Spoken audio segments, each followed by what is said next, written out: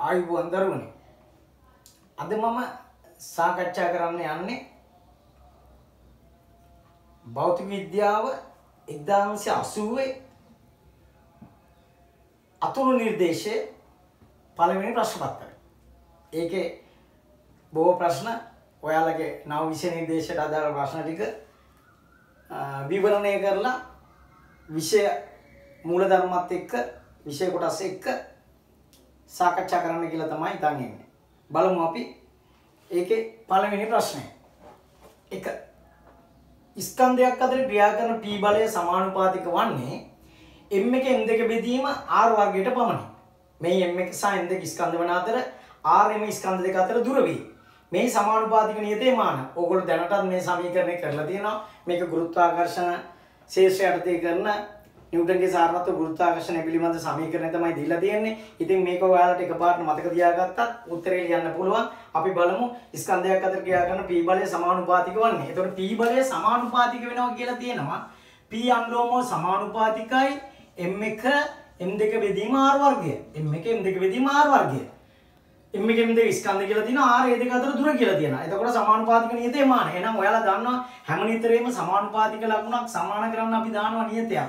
K M1 M2 බෙදීම R වර්ගය. X සම P සමානයි K වරක් M1 M2 බෙදීම R වර්ගය. මේක බලයට දීලා තියෙන්නේ P කියලා. එතකොට දැන් මම සුළු කරොත් P R වර්ගය M1 M2 සමානයි K. P R වර්ගය P R වර්ගය බෙදීම M1 M2 තමයි K කියන්නේ. ඒතර P කියන්නේ බලය. එහෙනම් බලයේ මාන එකපාරට මතක තියාගන්න ඕනේ දැන්.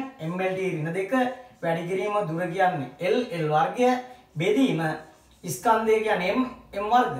එතකොට මේක එකපාරටම ඔයාලට පේනවා. ml t ඍණ දෙක l වර්ග. මෙතන තියෙනවා m වර්ග. එතකොට m වර්ග උඩට ආපුවා m ඍණ දෙක වෙනවා. එහෙනම් m ඍණ එක තියෙන උත්තරේ සිලෙක්ට් කරගත්තා නම් බලවනම් මේක තෝරගන්න පුළුවන්. එතකොට බලාගෙන ගියොත් මේක m ඍණ එක තියෙන උත්තරේ තියෙන්නේ හතර විතරයි. අනිත් ඒ වගේ m වර්ග m වර්ග m m ඍණ එක ml තීරණ තුන. ඉතින් අනිත් ඒවා හදන්නේ නැති වුණත් එකපාරට උත්තරේ ගන්න පුළුවන්. හතරවෙනි උත්තරේ කියලා. එතකොට m වර්ග උඩට ආපුවාම m ඍණ දෙක වෙනවා. m ඍණ දෙක මේ m එක වැඩි කරාම m ඍණ එක වෙනවා. මේ l l වර්ගයෙන් වැඩි කරාම l ඝනය වෙනවා. t ඍණ දෙක මෙච්චර සුළු කරන්න ඕන නැහැ විභාගෙදී. මම මේ අර දිගටම කරන්න ඕන නිසා මේම කරන්නේ එකපාරට තප්පර ගානේ ඔයාලට මේක බැලපු ගමන් උත්තරේ කියන්න පුළුවන් මට්ටමට ඇවිල්ලා ඇති දැනට. රයිට්. හොඳයි. අපි බලමු දැන්. එහෙනම් ඒකට උත්තරේ හතරවෙනි. ඊට පස්සේ දෙවෙනි ප්‍රශ්නේ. දෙවැනි ප්‍රශ්නය පාසඳන් සමීකරණ S නිරූපණය වන්නේ ආරම්භක ප්‍රේගයේ U සහ ඒකාකාර ත්වරණ A වූ අංශුවක් T කාලාන්තරයක් තුල දී ගමන් කළ දුර ප්‍රමාණය වේ. S සමානයි S සමානයි කේවල භාගය එක ධන AT බෙදීම 2U. S සමානයි කේවල භාගය එක ධන AT බෙදීම 2U. ඉහත දැක්වෙන සමීකරණයේ ඇති ගේ රාශිය මාන දෙනු ලබන්නේ. පළවෙනි උත්තරය LT 2 L වර්ග 3 L 4 LT ඍණ 2 5 L වල භාගය.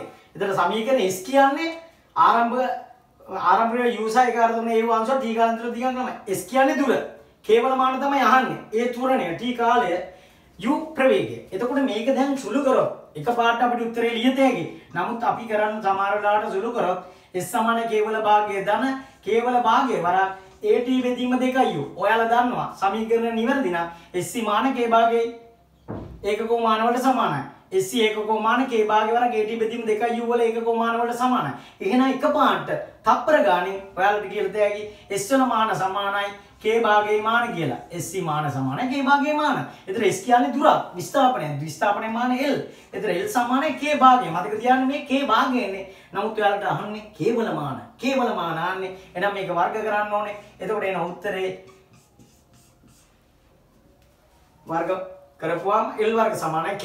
ඉතින් මේක මේකත් දාගෙන මේකත් සුළු කරන්නේ නැහැ. මේකයි මේකයි සමාන කරලා සුළු කරන්නේ නැහැ. ඒ ත්වරණය T කාලයේ ප්‍රවේගය ඒක කරත් ඒකම තමයි එන්නේ. ඉතින් ක්ෂණිකව මේ මුකුත් ලියන්නේ නැතුව S සමාන K භාගය ධන K භාගයට AT බෙදීම දෙකයි K භාගය S S වල මාන සමාන K භාගයේ මාන. එතන L සමාන K භාගය L වර්ග සමාන K එක පාට තප්පර ගානේ බැලුව ගමන් උත්තරේ කියන්න පුළුවන්. ඉතින් අන්න එතනට එන්න. හරි හොඳයි. තුන්වෙනි ප්‍රශ්නය. කුඩාම මිනුම 0.01 සෙන්ටිමීටර වන වර්ණීය පරිමාණය දැක්වෙන මිනුම කුමක්ද? කුඩාම මිනුම 0.01 සෙන්ටිමීටර් වන වර්නිය පරිමාණය දැක්වෙන මිනුම් කුමක්ද? පළවෙනි උත්තරේ 2.7 සෙන්ටිමීටර. දෙවෙනි එක 3.03 සෙන්ටිමීටර. තුන්වෙනි උත්තරේ 2.13 සෙන්ටිමීටර. හතරවෙනි උත්තරේ 3.07 සෙන්ටිමීටර. පස්වෙනි උත්තරේ 2.17 සෙන්ටිමීටර. හරි. අපි බලමු ඊට කලින් මේ උපකරණ වල අපි දන්න මෙනුම් උපකරණ විශේෂයෙන්ම අපි දන්නවා කුඩා මෙනුම් වඩින්න විශේෂයෙන්ම විද්‍යාකාරදී අපි මෙනුම් උපකරණ පාවිච්චි කරනවා. එතකොට මුලින්ම පාවිච්චි කරන උපකරණය තමයි අපි මීටර කෝදුව. මීටර කෝදුව. එතකොට මීටර කෝදුව. මීටර කෝදුවක සාමාන්‍යයෙන් සෙන්ටිමීටර් 10ට වඩා අඩු මිනුම් මයින්න අපි මීටර කෝදුව පාවිච්චි කරන්නේ නැහැ. සෙන්ටිමීටර් 10ට වඩා අඩු මිනුම් මයින්න මීටර කෝදුව පාවිච්චි කරන්නේ මොකද හේතුව සෙන්ටිමීටර් 10ට වඩා අඩු මිනුම් මයින්නකොට ප්‍රතිශත දෝෂය 100ට 1ට වඩා වැඩි වෙනවා. 100ට 1ට වඩා වැඩි වෙනවා. ඒක නිසා අපි සාමාන්‍යයෙන් කුඩා ගැන කුඩාම මිනුව මේක මිලිමිට එකක් වෙන නිසා සෙන්ටිමිට දාහට වඩා අඩු මිනු මීටර කෝදය මයි නොද නැති වෙන්න. ප්‍රසද්දෝසය සියටකට වඩා වැඩි වෙන නිසා. එන සියටකට වඩා අඩුවෙන මිනුම් තමයි මීටර කෝදය මයින්න ඒවගේම ඕනම උපකරණය මයින්න හොඳ. ප්‍රසද්දෝසය සියටකට වඩා අඩුවෙන්ඩෝ සාමාන්‍ය එවිදිර තම අපි සම්මතයක් විදිර වගේ අරගෙන තියෙනවා. මේ ප්‍රසද්දෝසය සියටකට වඩා අඩුයි කියන එක. එතකොට මීට්‍ර කෝදය මයින්න ඕන හොඳ මාගේ සෙන්ටිමිට සී ප්‍රසද්දෝසයන්නේ දසම එකක් විතර මොක උපකරන ප්‍රසද්දෝසය කියල ගැන උපකරණය කුඩාමිනෝ වෙදීම මනින් ලැබුවගේ වැඩිකම සියට සිය තර අපි සෙන්ටිමිට සියක් මන්නොත් මීට කෝදය කුඩාමිනුව දසම එක නිසා දසම එක බෙදීම සිය වැඩිකිරීම සියට සිය දසම එකයෙන්නේ එනිසා සෙන්ටිමිට සිය තම හොඳම මිනුම මීට කෝදය මයින් සෙන්ටිමිට එකක් ගත්තොත්තේම සෙන්ටිමිට එකක් ගත්තොත් දසම එක බෙදීම එක වැඩි කිරීම 100 අපිට එතකොට ප්‍රතිශත දෝෂය 10ක් එනවා. එතකොට ඒ මිනුම ඒ උපකරණ සඳහා අසාර්ථකයි. එහෙනම් මම ඊට කලින් පොඩ්ඩක් කියන මේ මිනුම් උපකරණවල අපි දැනගන්න ඕනේ සාමාන්‍ය ඉස්කෝලේදී පාවිච්චි කරනවා නම් ඒ වගේම ප්‍රශ්නයක දීලා තියෙනවා නම් ඒකේ මයින්න පුළුවන් පරාසය. ඒ නිසා පරාසය ගැන දැනගන්න අපි මුලින්ම මේ මතර මම ලියලා තියෙනවා මිනුම් උපකරණය ඊට පස්සේ ඒකේ මයින්න පුළුවන් අවම මිනුම ඊළඟට උපරිම මිනුම. මිනුම් උපකරණය අවම මිනුම උපරිම මිනුම. එතන පළවෙනියට දීලා තියෙන්නේ ඔයාලට මීටර රූල. මීටර රූල. ඒකේ කුඩාම මිනුම එහෙම නැත්නම් අවම මිනුම මිලිමීටර 1යි. අවම මිනුම මිලිමීටර 1යි. උපරිම මිනුම සෙන්ටිමීටර 100යි. උපරිම මිනුම සෙන්ටිමීටර 100යි. ඊට පස්සේ වර්නියර් කැලිපරය ගත්තොත් වර්නියර් කැලිපරේ අවම මිනුම 0.1 මිලිමීටර. සමහර ඒවා තියෙනවා 0.1 මිලිමීටර වලට හදපුවා. ඒ වුණාට අපි විශේෂයෙන්ම විද ඉස්කෝලේදී පාවිච්චි කරන 0.1 මිලිමීටර එන කුඩා මිනුම එන එක. අවම මිනුම 0.1 මිලිමීටර. ඒකේ උපරිම මිනුම ආන්න පුළුවන් විද්‍යාකාරී තියෙන එකේ 12.5 බිඳුවයි සෙන්ටිමීටර ඉඳගෙන 15යි සෙන්ටිමීටර වෙනකම්.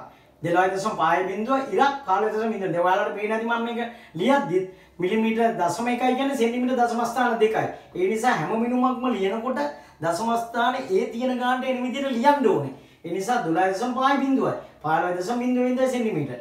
එතන මයික්‍රෝමීටර් ප්‍රමාණය ගත්තොත් ඒකේ කුඩාම මිනුම 0.01යි. මයික්‍රෝමීටර් ප්‍රමාණය කුඩාම මිනුම 0.01 මිලිමීටර. ඒකෙන් මයින්න පුළුවන් උපරිමාගය මිලිමීටර 3ක්. එහෙම නැත්නම් ඔව් මිලිමීටර් 30ක්. එහෙම නැත්නම් සෙන්ටිමීටර 3.0.0 ඉඳගෙන 4.0.0 වෙනකම් සෙන්ටිමීටර 3 ඉඳන් 4 වෙනකම් සෙන්ටිමීටර දශම ස්ථාන 3කට තියලා තියෙනවා. මොකෝ මිලිමීටර වලින් දශම ස්ථාන 2යි සෙන්ටිමීටර වෙනකොට දශම ස්ථාන 3ක් එන්න ඕන. ඊට පස්සේ ගෝලමානය. ගෝලමානය කුඩා මිනුම 0.01යි. ගෝලමානය කුඩා මිනුම 0.01 මිලිමීටර. එතකොට ඒකෙත් මයින්න පුළුවන් උපරිමාගය 1.0.0යි. ඉර 2යි 0.0යි සෙන්ටිමීටර්. ඒ කියන්නේ සෙන්ටිමීටර් එකක් දෙකක් අතර තමයි අපිට ගෝලමානයෙන් මැනගන්න පුළුවන්. ඉහළටත් සෙන්ටිමීටර් එකක් මයින්න පුළුවන්. එහෙම නැත්නම් ඉහළට සෙන්ටිමීටර් දෙකක් මයින්න පුළුවන්. පහළටත් සෙන්ටිමීටර් එකක් එහෙම නැත්නම් සෙන්ටිමීටර් දෙකක් මයින්න පුළුවන්. ඒ විදිහට තමයි ඒක හදලා තියෙන්නේ. ඊළඟට චලන්නීක්ෂය ගත්තොත් විශේෂයෙන්ම මේක මතක තියාගන්න චලන්නීක්ෂය අපිට මේ පරිමාණ මේ චල අනිශ්චය කොටස එහාට මෙහාට ගෙනියන්න පුළුවන්. එතකොට ඒක ගෙනියන්න පුළුවන් පරාසය කුඩාම මිනි මේකෙත් 0.01 මිලිමීටර. 0.01 මිලිමීටර. ඒකේ පුළුවන් අපිට 15ක් සෙන්ටිමීටර ඉඳගෙන සෙන්ටිමීටර 20ක් දක්වා පරාසයට වෙනකන් අරගෙන යන්න. සෙන්ටිමීටර 15යි සෙන්ටිමීටර 20යි. අවම එක 15ක් ඒ කියන්නේ එක පැත්තක ඉඳගෙන මේ තිරස් සීරු මාරුවෙන් අරගෙන යන්න පුළුවන් අපට තිරස් සෙමින් සීරු මාරුවනේ තිරස් වේගවත් සීරු මාරුවෙන් හලු සීරු මාරුවෙන් බිඳුවෙන් ඉඳගෙන 15ට වෙනකම්. එහෙම නැත්නම් බිඳුවෙන් ඉඳන් 100 20ට වෙනකම්. ඒතර 15යි 20යි තමා ඒකේ උපරිම පරාසය චලනනිශ්චය. බිඳුවෙන් ඉඳන් 15 ඒ වගේම බිඳුවෙන් ඉඳන් 20. එතකොට ඔයාලා තෙදඩු තුලාව ගත්තොත් තෙදඩු තුලාවේ කුඩා මිනුම 0.1 ග්‍රෑම්. තෙදඩු තුලාවේ කුඩා මිනුම 0.1 ග්‍රෑම්. ඒකේ මයින්න පුළුවන් උපරිමගේ 2010ක් ග්‍රෑම්. 2010ක් ග්‍රෑම් මයින්න පුළුවන් තෙදඩු තුලාවේ. ඊට පස්සේ සිවුදණු තුලාවේ 0.01 ග්‍රෑම්. ඒකේ මයින්න පුළුවන් උපරිම පරාසය 311 ග්‍රෑම්.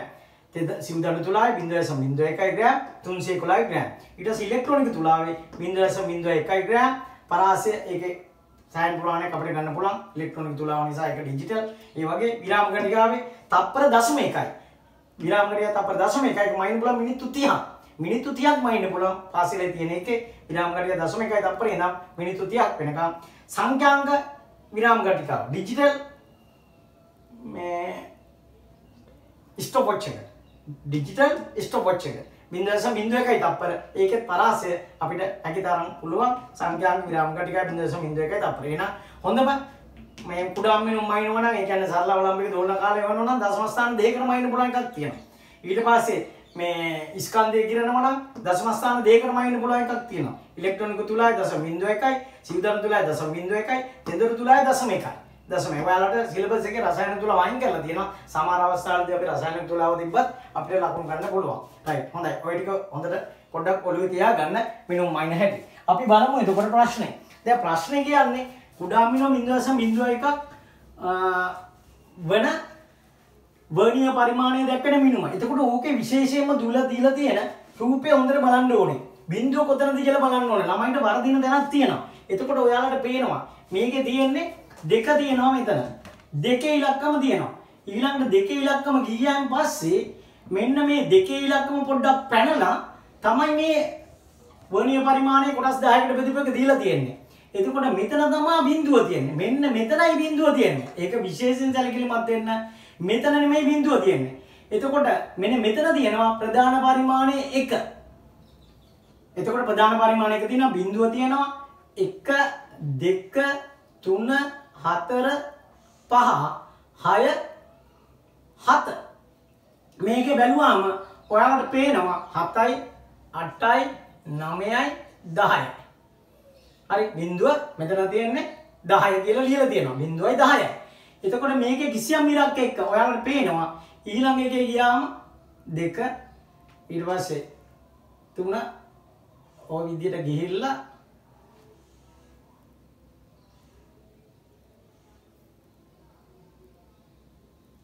හත්වෙනි එක තමා එකට ගිහිල්ලා තියෙන්නේ පහ හය මෙන්න මේ හත්වෙනි ඉලක්කම මේ දෙකේ එකට ගිහිල්ලා තියෙනවා මෙතන තමයි 3 සෙන්ටිමීටර් වලින් මේ දීලා තියන්නේ 2 3. එතකොට මෙතන කියවෙන ප්‍රධාන පරි කුඩාම මිනුම දීලා තියෙන ඔයාලට 0.01 සෙන්ටිමීටර් කියලා. 0.01. එතකොට මෙන්න 2 මෙතන එනකොට මේකේ තියෙන්නේ මිලිමීටර් වලින් නිසා එහෙම නැත්නම් 21යි. එහෙම නැත්නම් 2.1යි සෙන්ටිමීටර. අපි ඒක ලියනකොට 2.1 සෙන්ටිමීටර. මොකෝ මීටර කෝදුවක් තියෙන්නේ මීටර කෝදුවක කොටසක් ප්‍රධාන පරිමාණයේ විදියට මිලිමීටර එකක් එහෙම නැත්නම් 2.1 එතන තියෙනවා. ඊට පස්සේ මේක කුඩාමිනෝ 0.01 සෙන්ටිමීටර කියලා කියලා තියෙනවා. ඒතර බලන්න බිඳුව 1 2 3 4 5 6 7 හත්වෙනි එක තමයි ඉරි දෙක එකට ගිහිල්ලා තියෙන්නේ. එකට ගිහිල්ලා තියෙන්නේ. සම්පාද කරන්න පුළුවන් අපිට මේ විදිහට. මෙහෙම සම්පාද කරද. නමුත් මේ දෙක එකිනෙක ස්පර්ශ වෙන්න ඕන. මෙහෙම. ගෝලමානය වගේ ස්කෘප්පය තුඩයි ප්‍රතිබිම්බ තුඩයි ස්පර්ශ වෙන්න ඕන. ඒ වගේ මේකත් එහෙමයි. මේ දෙක එකිනෙකට ස්පර්ශ වෙන්න ඕන. මේ දෙක එකට යන්න ඕන. මේ ඉරි දෙක එකට යන්න ඕන. එතන මෙතන බලන්න බිංදුව 1 2 3 4 5 6 7. එතකොට එතන එනවා බිංදුවයි දශම බිංදුවයි එක වැඩි කිරීම 7. එතකොට ඔයාලට එන්නේ 2යි දශම 1යි 7යි සෙන්ටිමීටර කියලා. මේකත් සෙන්ටිමීටර. 2යි දශම 1යි 7යි සෙන්ටිමීටර. 2යි දශම 1යි 7යි සෙන්ටිමීටර. මම පස්සේ මේවා විස්තර කරන්නම්. උපකරණවල ප්‍රධාන පරිමාණය කොටස් හදන හැටි වනි පරිමාණය කොටස් හදන හැටි දැනට ඔය ටික මතක තියාගන්න මොකක්ද කරේ ප්‍රධාන පරිමාණය ඉර තෝරගත්තා ඊට පස්සේ වර්ණීය පරිමාණය ඉර තෝරගත්තා හරියට වර්ණීය පරිමාණය බිඳුව තියෙන තැන තෝරගත්තා බිඳුවට වම් පැත්තෙන් තියෙන ඉලක්කම කියවෙන්න ඕන. බිඳුවට වම් පැත්තෙන් තියෙන ඉලක්කම ඒක තියෙන 2.1යි ඊට පස්සේ වර්ණීය පරිමාණයේ කිසියම් ඉරක් ප්‍රධාන පරිමාණයේ කිසියම් ඉරක් එක්ක එකට යන වර්ණීය පරිමාණයේ කොටස් ගණන් ගණන් කරන්න ඕන. ඒක වැඩි කරලා ඒ දෙක එකතු කරලා දානවා අපිට ලැබෙනවා 2.17 කියලා. ඔය රූපයට දීලා තියෙන උත්තරේට 2.17යි පස්වෙනි උත්තරේ තමයි හරි.